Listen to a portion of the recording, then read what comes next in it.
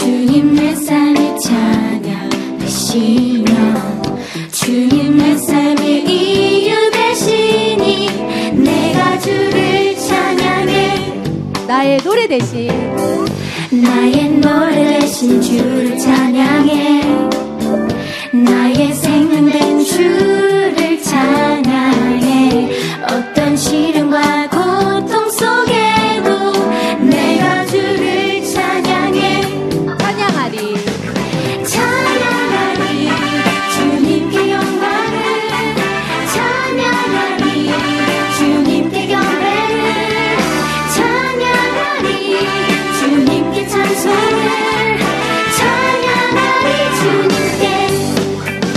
で最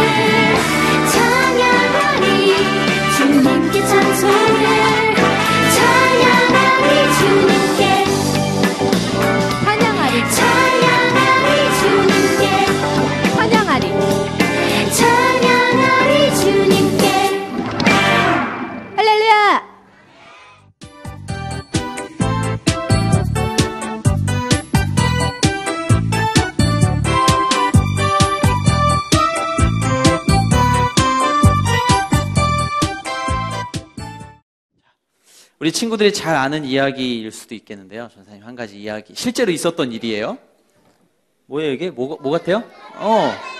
도마뱀이 못이 박혀가지고 움직이지 못하고 있네? 이건 실제로 있었던 일이래요. 이게 어디 나라, 어디에서 있었던 일이냐면, 일본에서 있었던 일이에요, 일본. 우리 옆나라, 옆에 이웃나라 일본 알죠? 어, 일본이 옛날에 올림픽, 올림픽을 하기 위해서 큰 경기장을 지어야 했대요. 어, 큰 경기장을 지으려다 보니까 자그마한 집들을 허물고 거기에 경기장을 지어야 했대요. 그래서 자그마한 집들을 허물고 있는데 어, 공사장에서 이제 일하는 분들 집을 허무는 아저씨들이 어 집을 뜯으려고 지붕을 딱 뜯었는데 어 도마뱀 한 마리가 꼬리에 못이 탁 박혀가지고 움직이지도 못하고 있는 거예요. 아니 어떻게 이렇게 도마뱀이 살고 있지? 막 궁금했어. 내 집주인한테 물어봤더니 이 집은 몇 년 된 집이냐면 지은 지 3년이 된 집이래요. 어? 그러면 이 도마뱀은 세상에 3년이나 이렇게 있었단 말인가? 너무너무 궁금해졌어요. 어? 어떻게 도마뱀이 살 수 있었을까? 그래서 공사하는 아저씨들이 아, 무슨 일인지 한번 지켜보려고 옆에서 몰래 이렇게 지켜보고 있었는데 이 도마뱀이 못이 박혀서 움직이지도 못하고 있는데 어떤 다른 친구 도마뱀이요. 이렇게 하루에도 여러 번씩 음식을 가져다 준 거예요. 어, 진짜 이런 일이 있었대. 그래서 3년 동안, 어, 3일도 아니고 3년 동안 꼬리에 못이 박혀 있는 도마뱀을 이 친구 도마뱀이 음식을 계속 날라다 주면서 이 도마뱀이 살 수 있도록 도와줬다라는 거예요. 우리 친구들 만약에 꼬리에 못이 박힌 도마뱀처럼 만약에 우리 친구들이 이렇게 꼼짝도 못하고 딱 이렇게 있다고 생각해 보세요. 얼마나 답답했을까요? 그리고 아 이제 꼬- 꼬리에 못이 박혔으니까 이제 곧 나는 죽겠다. 아마 무서웠을 거예요. 근데 이 도마뱀이 계속 음식을 날라다 줬던 것처럼 우리 친구들도 누군가의 도움이 없다면 아마 죽었을지도 몰라요. 자, 자 오늘 말씀에도요 바로 이런 우정이 나오죠. 우리 친구들이 3월 한 달 동안 열심히 말씀을 배웠어요. 누구와 누구의 말씀을 배웠죠? 음. 자, 첫 주부터 오늘 다섯 번째 주일까지 계속 다윗과 요나단에 대해서 배웠어요. 아직도 아직도 다윗이 누군지 요나단이 누군지 모르는 친구 있어요? 어, 전사님이 따로 알려주려고. 우리 친구들 다 열심히 말씀을 들어서 아는 것처럼 다윗과 요나단은요 마치 꼬리에 못이 박힌 도마뱀처럼 힘들어하고 있고 절망 속에 빠져 있는 다윗을 요나단이 도와준 거예요. 어쩌면 죽을지도 모르는 상황에 있는 다윗을 요나단이 도와줬던 거예요. 어떤 게 있었는지 한번 볼까요? 첫 번째 주는 우리가 무슨 열쇠를 가지고 있었죠? 만남의 열쇠를 갖고 있었어요. 두 번째 주는 어, 보호 열쇠를 우리가 갖고 있었어. 세 번째는 마음 열쇠를 갖고 있었어. 오, 네 번째는 약속 열쇠. 근데 오늘은 마지막 어, 도움 열쇠예요. 도움 열쇠. 다섯 가지 열쇠를 우리가 가지고 어, 보물 상자를 열 건데요. 어, 이 다섯 가지 열쇠가 우리 친구들과 또 옆에 있는 친구들의 마음을 또 도와줄 수 있는 그리고 우리 친구들이 아주 좋은 우정을 만들 수 있는 중요한 열쇠가 된대요. 우리 친구들 말씀을 들었던 것처럼 다윗은 어떤 사람이었죠? 원래 어, 아무런 힘도 없었던 양치는 소년이었어요. 그런데 이 소년을 하나님께서 선택하셔서 어, 뭘로 기름을 부으시죠?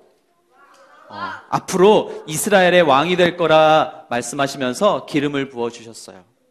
그리고 이 다윗은요 왕궁에 들어가게 됐어요.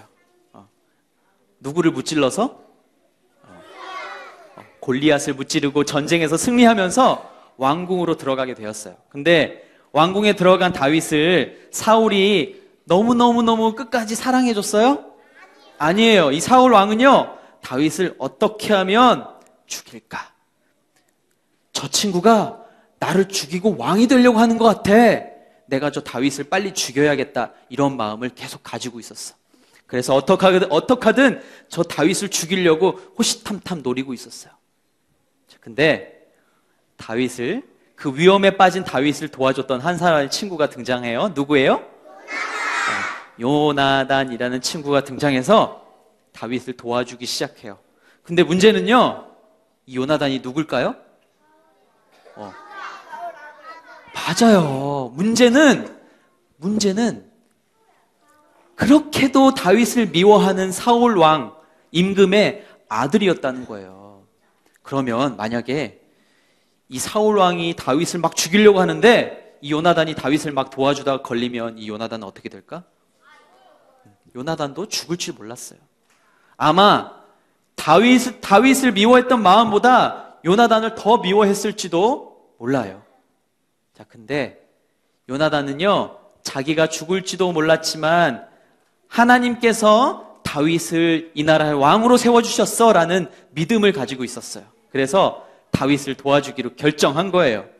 아, 내가 죽어도, 내가 죽어도, 내가 아버지의 창을 맞아서 죽어도 나는 누구를 도와줄 거다? 다윗을 도와줄 거라는 마음을 가지고 있었어. 자, 그래서 요나단은요, 다윗을 끝까지 도와주기로 결정했어. 자, 근데 정말 이렇게 사랑하는 다윗을 요나단은요, 떠나 보낼 수밖에 없게 됐어. 내가 더 이상은 널 도와주면 우리 둘 다 죽을지도 몰라.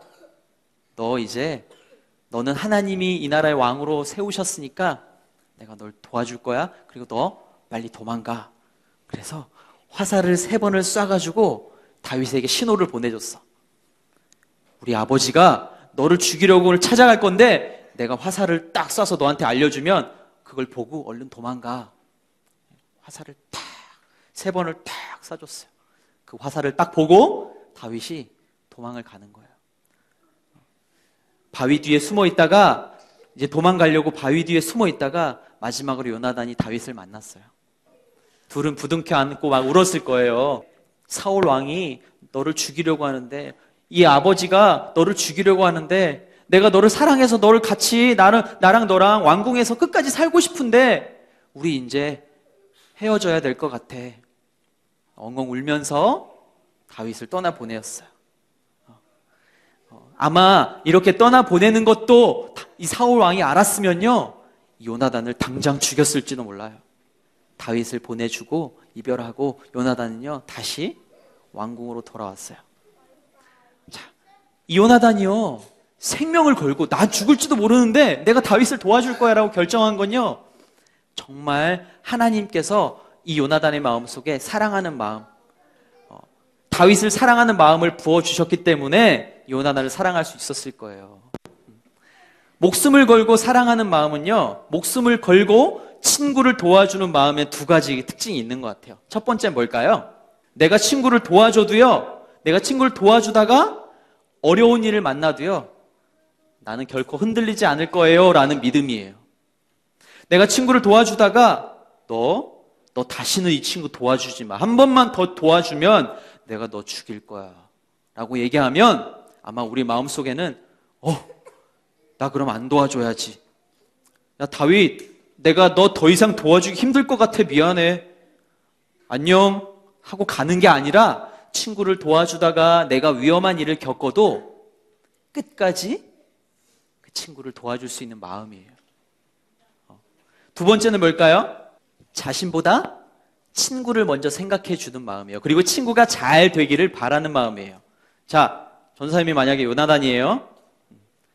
저번에 이야기했던 것처럼 나는 임금의 아들이에요. 우리 아버지가 돌아가시면 내가 임금이 될 거야. 근데 하나님께서 다윗이라는 사람을 내 친구를 왕으로 세우셨대. 그러면 어떤 마음이 들까요? 사탄이 마음속에 야, 네가 저 다윗을 죽이기만 하면 네가 왕이 될 수 있어. 너는 임금의 아들이잖아. 다윗을 죽여. 그럼 네가 임금이 될 거야. 이렇게 다윗 사, 사탄이 만약에 속삭여서 거기에 혹 하고 넘어갔다면 요나단은 다윗을 도와줄 수 있었을까요? 없었을까요? 없었을 거예요. 아마 어떻게든 다윗을 죽이고 내가 왕이 돼야지. 어디서 양치던 목동이 왕이 됐다고? 말도 안 돼. 내가 왕이 될 거야. 라고 다윗을 도와주지 않았을 거예요. 진짜 다윗을 도와줄 수 있었던 마음은요, 바로 이 두 가지 마음이었을 거야. 하나님이 사랑하는 주, 주, 사랑하라고 주신 마음을 가지고 내 친구가 잘 되었으면 좋겠어. 친구야, 난 네가 잘 됐으면 좋겠어. 네가 더 행복해졌으면 좋겠어라는 마음을 가지고 있었기 때문에 가능했던 거예요. 전사님 한 가지 이야기를 들려줄게요. 옛날에 그리스, 그리스라는 나라 알아요? 어, 저기 유럽에 있는 나라예요. 그리스라는 나라에서 있었던 일이래요. 옛날에 두 명의 친구가 있었는데요.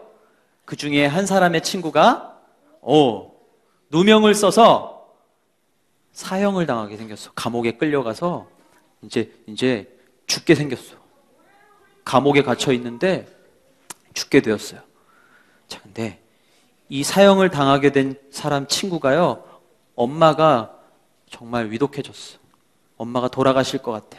그래서 돌아가시기 전에 엄마를 꼭 한 번만 만났으면 좋겠다라는 마음을 가지고 있는데 어떻게 하지? 어떻게 하지? 나는 조금 있으면 사형을 당할 거고 우리 엄마도 못 보고 나는 죽게 될 거야. 그런 마음으로 슬퍼하고 있는데 어, 친구가 이렇게 이야기하는 거예요. 내가 친구를 대신해서 감옥에 들어갈 테니까 제 친구를 엄마를 만날 수 있도록 마지막으로 엄마를 보고, 있, 보고 올 수 있도록 도와주세요. 막 감옥에 있는 그 간수장에게 막 이야기했어요. 그래서 그러면 당신이 이 친구를 대신해서 감옥에서 기다리는 걸로 합시다. 어, 그러면 만약에 이 친구가 도망가서 돌아오지 않으면 당신이 친구를 대신해서 죽을 수 있어? 물어봤어요. 이 친구가 뭐라고 대답했을까요? 어, 친구가 돌아오지 않으면 제가 친구를 대신해서 죽겠습니다. 이렇게 이야기한 거예요. 시간이 3일이 지났어요. 3일 만에 돌아오기로 했던 그 사형수가 안 돌아오는 거예요. 그럼 이 친구 마음은 어떨까요? 어, 진짜 내가 죽어야 되나? 어, 내가 죽겠다고 했는데 친구가 언제 올까? 아마 이런 마음이 있었을 거예요. 4일이 됐어요. 친구가 돌아오지 않는 거예요.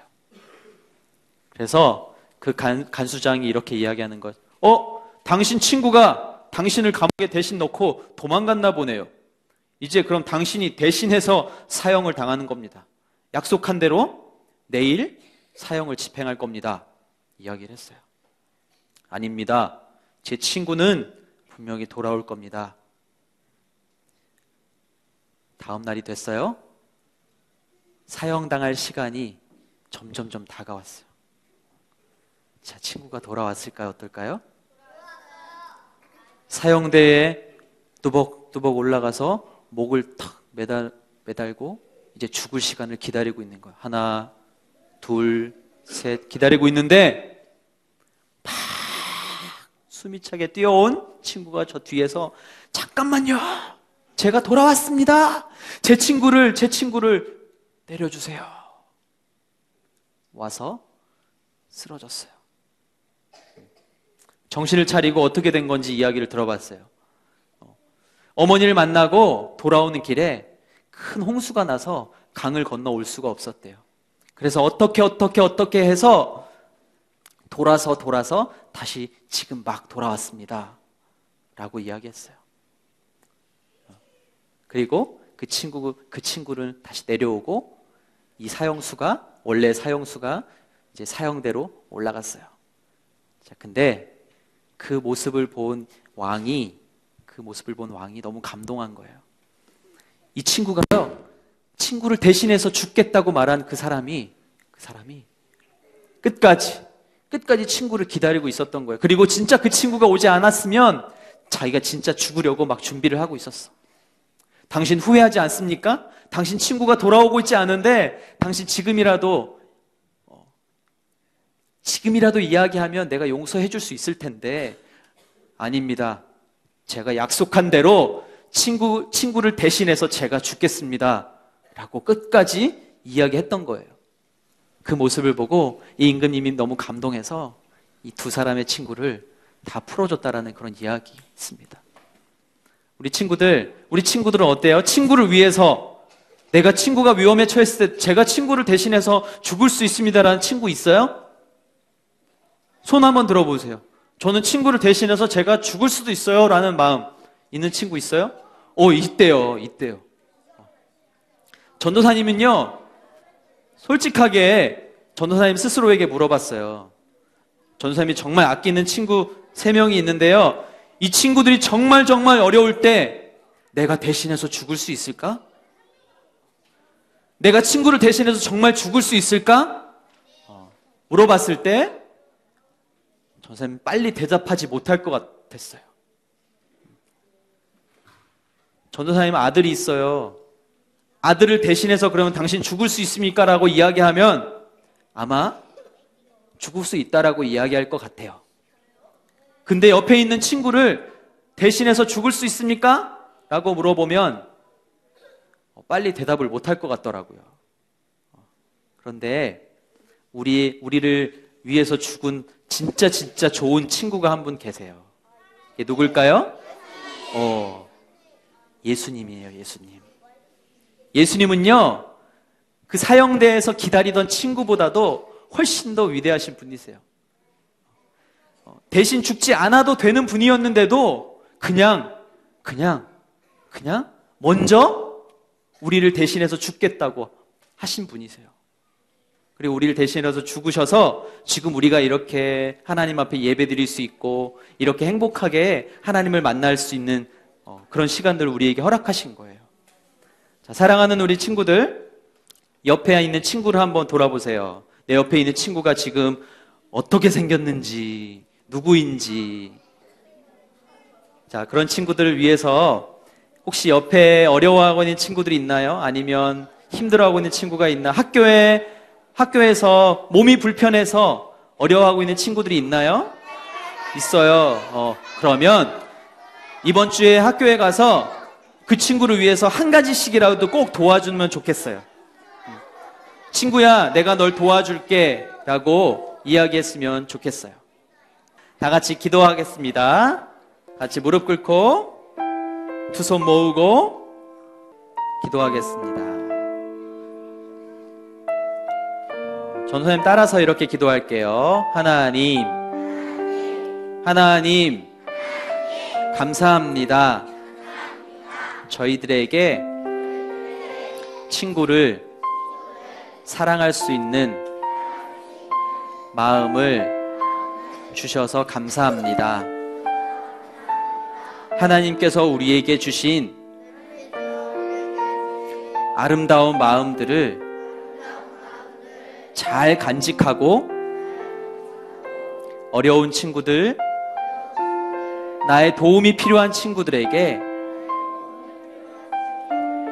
나누어 줄 수 있도록 축복해 주세요. 하나님 감사합니다. 예수님 사랑합니다. 예수님의 이름으로 기도드렸습니다. 아멘.